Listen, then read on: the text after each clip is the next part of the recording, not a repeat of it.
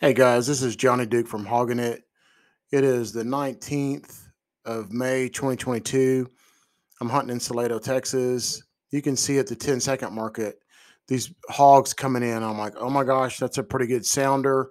They're probably four to 500 yards out. I'm not sure. I don't have a laser rangefinder on my hogster, but I'm watching them, getting excited. And I'm like, all right, my wife's with me. And I'm like, all right, hey, check this out. Look at these pigs and she's watching them for a little bit so you can kind of see us trying to figure out what's going on and then they just start pouring into the field like a flood of pigs. I'm guessing there's 40 to 50 pigs in this group i'm not sure i haven't counted yet.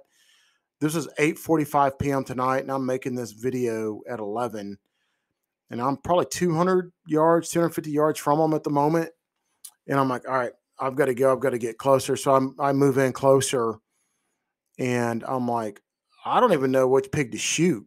So I'm trying to find the biggest one in here in the bunch. And uh, I'm scanning for the biggest one right now, is what you're seeing at the minute and 10 second mark. And uh, they start walking towards me. I'm like, crap. They get like 65 yards from me. And I'm getting a little bit nervous because there's so many of them. I don't want to get injured. I'm using a 6.5 Creedmoor by Christensen Arms, shooting Hornady ELDX 143 grain ammo, which I freaking love.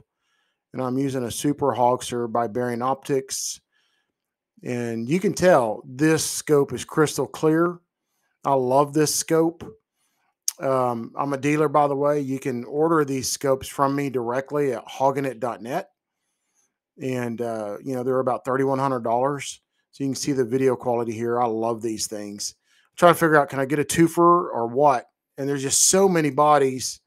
You're seeing me literally scan for the biggest one. I ended up killing a boar that was probably 200, 220 pounds the first shot.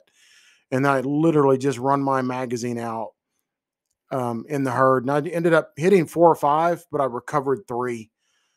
This is Johnny Duke from Hogging It. Don't forget to hit the like button and the subscribe button.